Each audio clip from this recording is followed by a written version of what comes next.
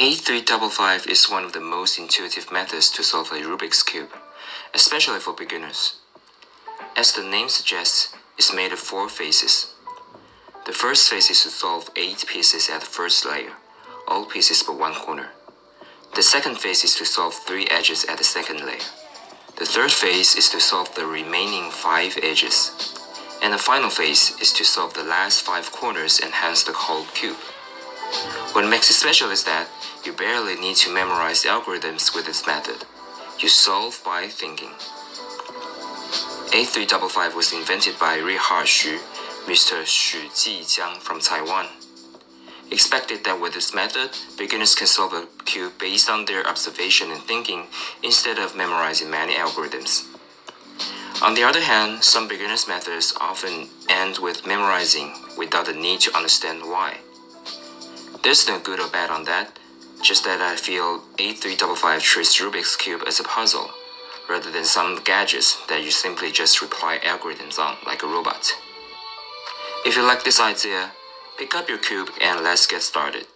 There are two concepts you need to know beforehand.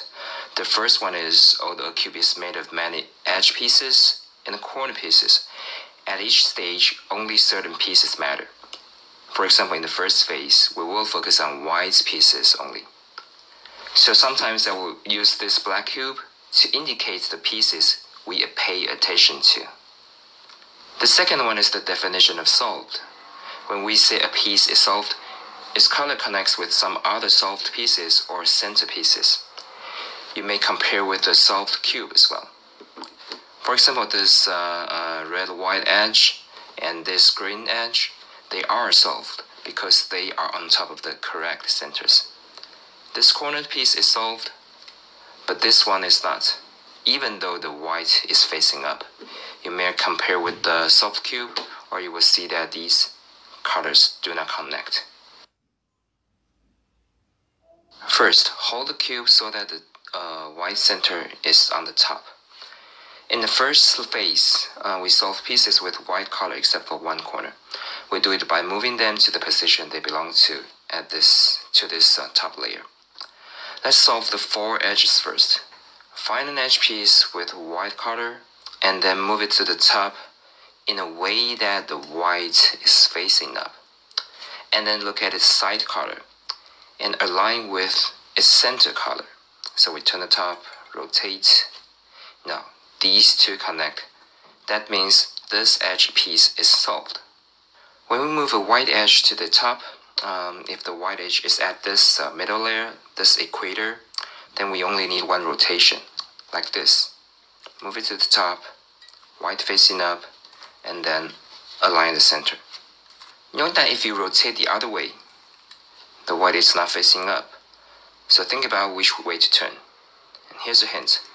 If the white is facing you, then you can turn it naturally.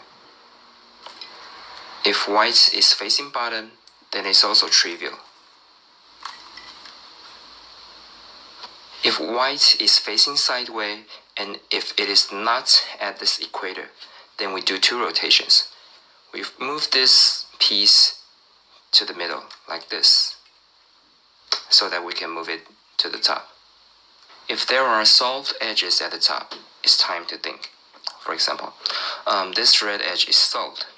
And if we want to solve this orange edge, we cannot simply move up right away because you see that uh, these colors do not connect. So this piece is not solved.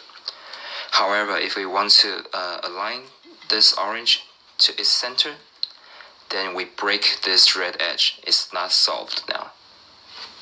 Think of the top layer as a carousel with four seats. When it turns, all seats rotate together, so their relative positions remain the same. For example, the orange seat is always at the opposite side of the red seat.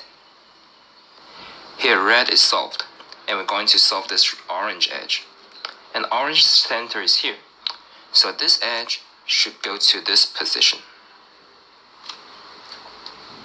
So we turn the seat, the position, to this entrance because we're going to move this edge up to occupy this seat and then align the center again. So here, not only red is still solved, this orange is in the correct position as well. So now you have solved another edge. Keep doing this until four, all four white edges are solved at the top. Here's another example. We want to solve this blue-white edge. And uh, blue center is here, so the edge should go to this position. And note that um, if we want to move this edge to the top, we do two rotations. First is to move this piece to the center, and then move it up. So the position is here. So we move this seat, the destination, to here. So that we can move this edge with two rotations, one, two, to the top, to this correct position. But know that during the movement, you actually break this edge. So you need to recover it back. And then align it. So now they are solved. After all four edges are solved, you should see a white cross on the top. Now it's time to solve three out of the four corners, these four, and any three will be fine. During this phase, imagine you are using a net to scoop fish. You put the net down, let the fish swim into it, and then pick it up. Let's find a white corner piece and the position it belongs to. For example, this white corner, here is red and blue, so the position should be here between the red edge and the blue edge. It should be here. So we put the position down, let the corner swim into it, and then pick it up. You may be wondering that if white corner is here and the position it belongs to is here, should I put down the position this way or this way? So here's a hint. Look at the white facing. It's at the right side of the cube. So no matter how it turns, it's always at the right side of the cube. And also when you put down the position and let the edge swim in, these two whites should connect. You might be struggling with these cases. I will quickly go through them, but it's better for you to think on your own. If the piece is under this position, when you put down the position, you will this edge away. So, let this edge step aside and then put down the position. However, if white is facing down, you actually want to scare it away deliberately so that now this white is facing sideways. Step aside and recover this position. Now you can solve this. If the corner that is unsolved is at the top, is facing the wrong direction, or is in the wrong position, it should go here. Put it down, release the fish, and then recover. And then you can solve it. This phase ends after three corners are solved. Any three will be fine. Now turn the cube upside down. Let the white is facing down, the yellow facing up.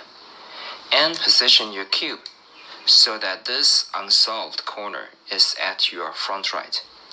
If all corners happen to be solved, that's cool too. Just pick a random corner at your front right. We will use this position as a buffer in the next phase.